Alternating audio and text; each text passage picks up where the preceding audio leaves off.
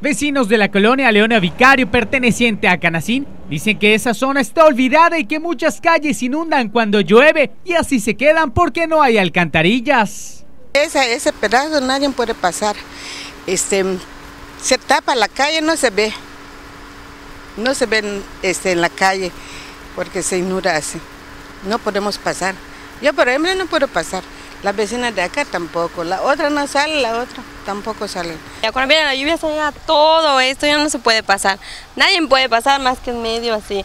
Y los coches que vienen, pues todo, no, tienes que ver cómo pasar porque no, no puedes pasar. Estamos viendo si nos ponen, eh, la señora eh, recogió firmas para ver si pueden poner un pozo para que se vaya todo el agua. Además de los encharcamientos, la falta de luz preocupa a las familias de la zona.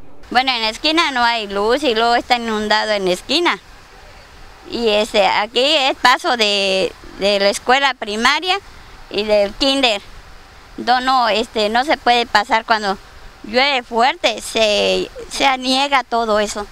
Queremos que compongan aquí la calle porque, o sea, hay mucha agua, no pueden pasar uno, cuando uno va a la escuela no puede pasar porque viene carro de este lado, camión de este lado, o sea queremos igual la luz, o sea, y que nos hagan algún pozo ahí profundo para que se vaya el agua. Como aún no tienen respuesta ante esta situación, los vecinos firmaron un escrito que van a llevar a la presidencia municipal de Canacín.